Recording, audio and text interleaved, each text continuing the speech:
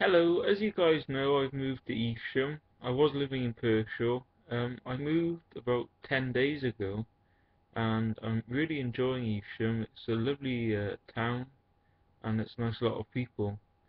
Um, I've started to um, put feelers out to clubs and societies in Evesham.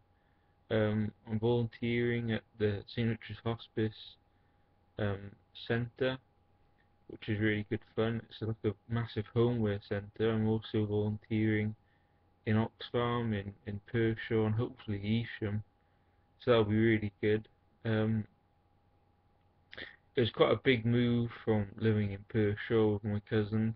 Um, sadly, um, the landlord wanted to sell the property, and um, uh, my cousin had to downsize, so um, it meant that it would go for have to go through a, three bedroom place as opposed to a four bedroom place.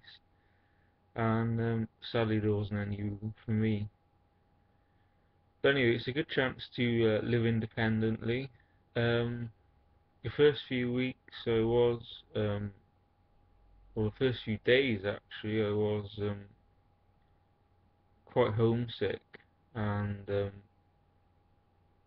my mind was going very crazy and um, I go and see a therapist. And on the Wednesday, I went to see the therapist, and things got much better. Um, yes, and after that, I got my head screwed on, and I'm able to do the tasks that are needed to survive, basically.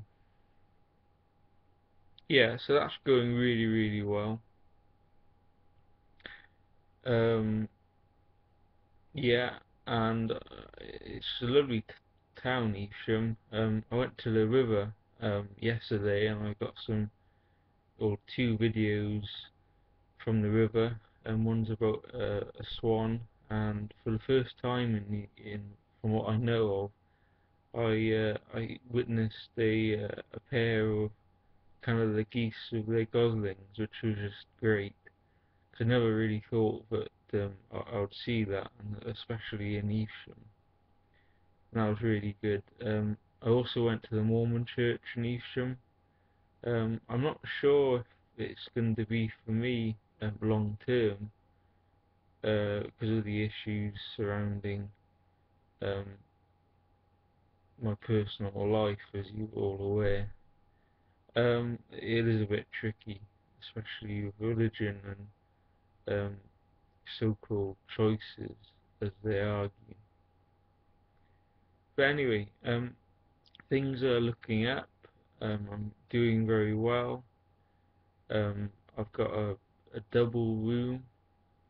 When I mean double, it is double because I've got the a big uh, top floor um, double room, a double bedroom room and I've also got the attic space as well, which means lots of space and um, lots of uh, stuff to build up clutter, as they say.